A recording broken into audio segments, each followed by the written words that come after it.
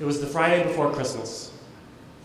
I was dressed as a slutty elf, handing out free Jägermeister shots from my homemade cigarette girl tray in the middle of a crowded makeshift dance floor at the most tragic gay strip club in San Francisco's seediest neighborhood.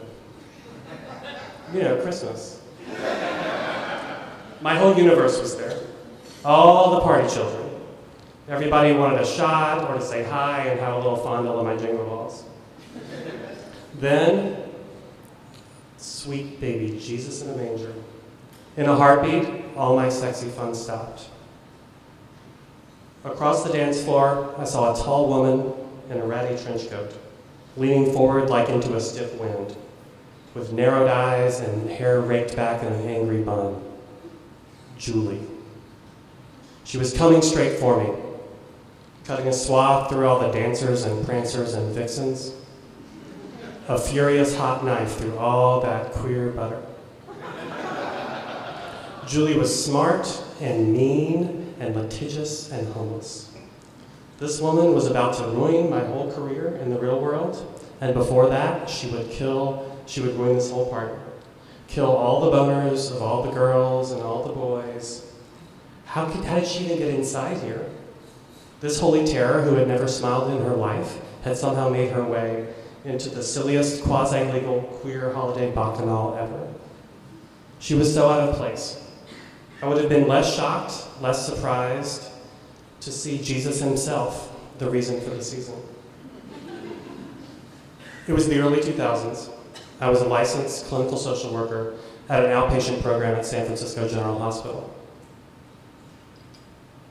We, our office was a trailer, a bunch of trailers connected in the parking lot right outside of the hospital emergency room. I worked with people who had all the problems, all the big problems schizophrenia, bipolar disorder, borderline personality disorder, HIV, Hep C, uh, heroin addiction, all, all the things, chronic homelessness. They were in and out of jail, they were in and out of that exact emergency room. That's why we worked with them. And I love the work. By the time these people got to me, they had every reason to give up on life, but they didn't. And together we fought. We fought for health, we fought for dignity, we fought for some version of joy in their lives. Every client was different, every day was different, it was creative, it was technical. I had to be ready for my, any one of my clients to do pretty much anything at any moment. There was an art to it. It was a great job. One rainy day, my boss came into my office in the trailer with this huge paper medical file folder with the metal, people work in medicine with those metal brad things that hold all the papers in. Two hole punch was like our, our thing. Um, she said, this woman will be a challenge, let me know if you need anything. That's when I got really worried, because my boss never said that about any client. This was, we took people that all the other programs had fired, all these clients. Uh, people who started fires, people who were violent, people who had just not been able to hold or get the, you know, been able to attach to any sort of services. Uh, the trailer was where the, was where the crazy train stopped, literally. Like we were the last resort for a lot of people in San Francisco. The file that was so big because it was full of complaint letters and investigations and all this, those letterhead, it was all this letterhead because Julie had uh, filed formal charges against all sorts of social workers, all sorts of agencies, against the county itself, against the state. And so it was, and, and, and, then there were all these responses and all these letters and investigations, and that's what my boss handed me was all this stuff. It was the San Francisco Department of Public Health, the San Francisco General Hospital Medical Ethics Committee, the State Medi-Cal Office, um, the Ombudsman's office, which I didn't know what an ombudsman was, but there's ombudsmans everywhere, and she had found them all.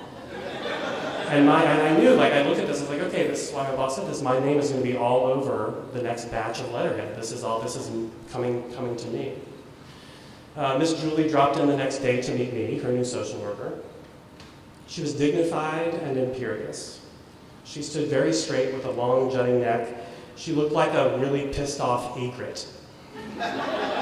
she looked younger than her age in the mid-50s, and she had a challenging vigor. She was fabulous and terrifying. She was my very own Disney villain.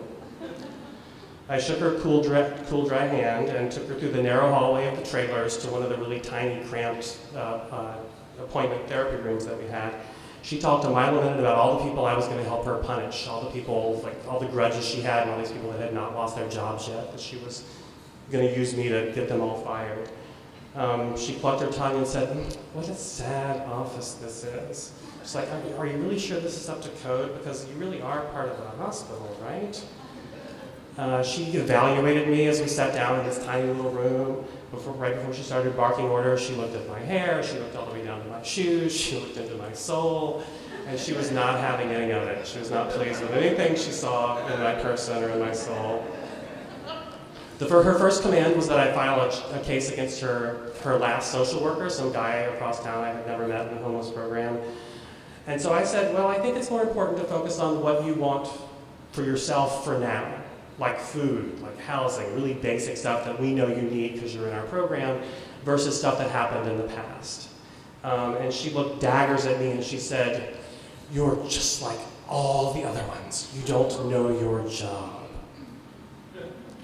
She made threats against my career and told me all the places, the ombudsman of the world, that she was going to you know, file letters with and get me fired. And she stood up, she gathered all her height and all her drama, and she stood up to walk out. And then she turned back to me and said, So when is our next appointment? And can you give me an appointment card?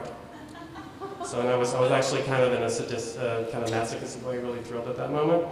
Um, and then two weeks later it was Christmas, and we're throwing this big, my friends and I are throwing this big crazy party in the all-new gay porn theater, porn palace place. I did these parties about once a month back then. Not in this place. Usually they were random bars, straight bars that didn't know we were coming. It was really fun. Um, yeah, totally. It was great. It was great. Once the bartenders started get, getting all the tips, they chilled out, but it was like a hundred queers in costume would come descend on these people. Um, and this party, but the, we, we planned this party ahead. You had to like rent out. Just so you know, you got to rent out a gay porn theater, so they'll let you bring your own alcohol in and all this stuff.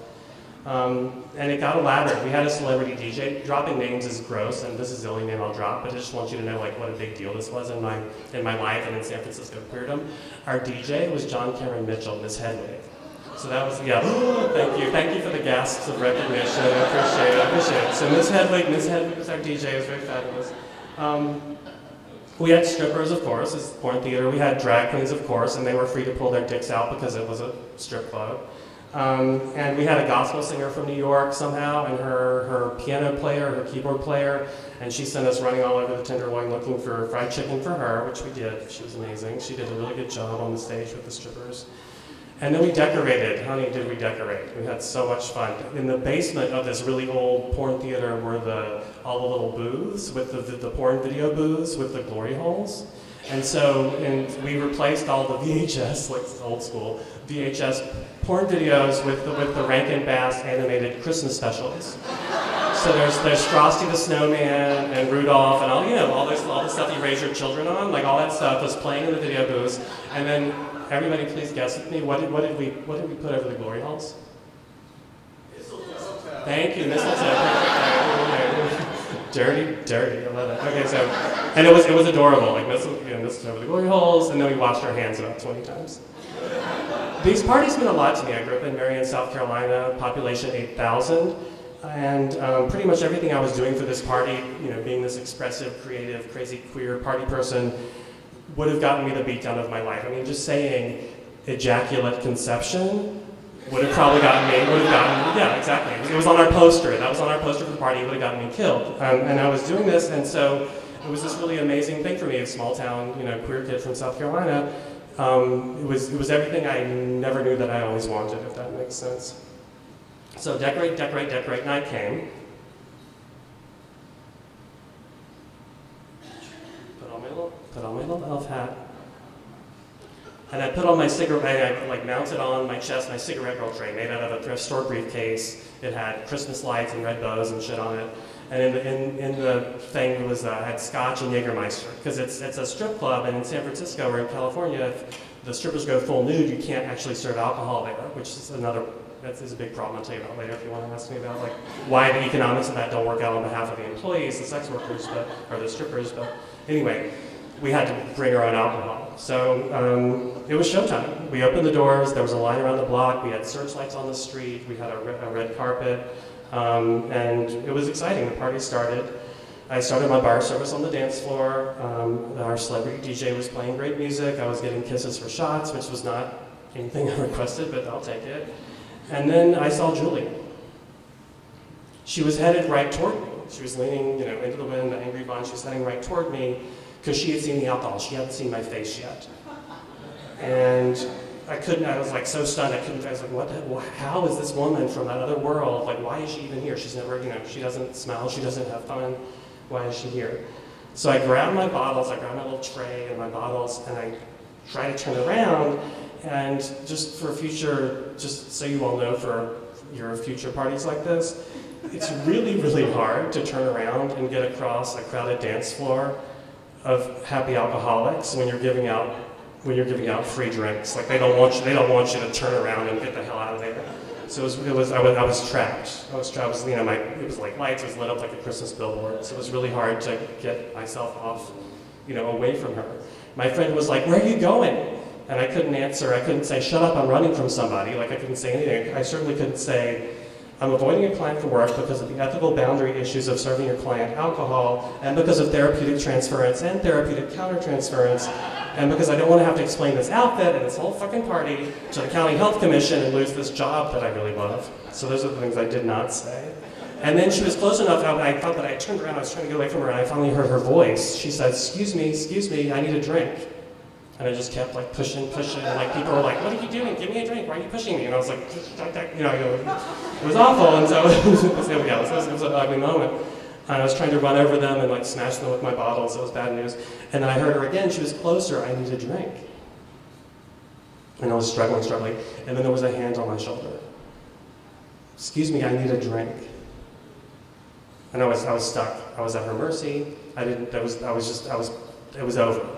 Everything was over. The party was over. The job was over. It was all. I was just totally screwed. So I turned around, and she she saw me. I saw her. I was paralyzed. And I just was imagining what she was doing. I imagined her like pulling out a notebook and like writing down every single thing that I was doing or that this party was doing that was wrong and how this is getting fired, ethics, and you know the list of the ombudsman's persons. And but she didn't do she didn't do any of that. She looked at me and she said, "Hello, Hunter. Could I have a drink of what you have there?" And the smart thing to do would have been to say no, right? Social workers or clinical people do not give their clients alcohol. I wanted her. I wanted her out of my party. I needed her out of it. It's, you know, general practice. We don't do that. Um, but I, I just decided, fuck it. She's a, she's a person at the party too. And I poured half a shot. I figured that was like 50% of a fireable ethical violation. And I had just a little bit of Jägermeister. And I handed it to her with a little elfin bow, and I said, Merry Christmas, Julie. And she took the drink, smiled back at me. Again, this woman had never smiled in her life.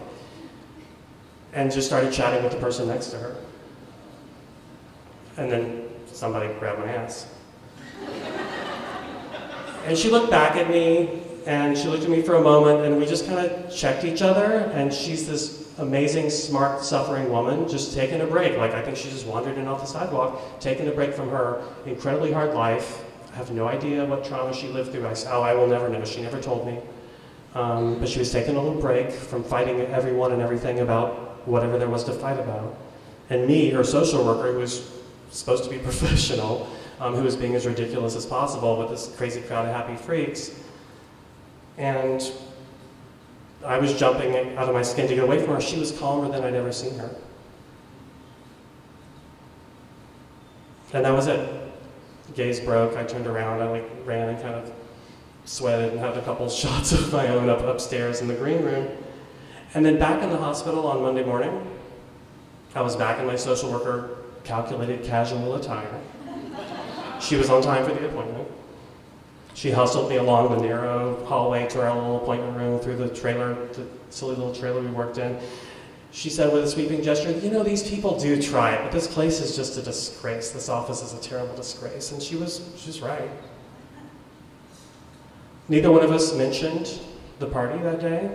Neither one of us mentioned the party ever.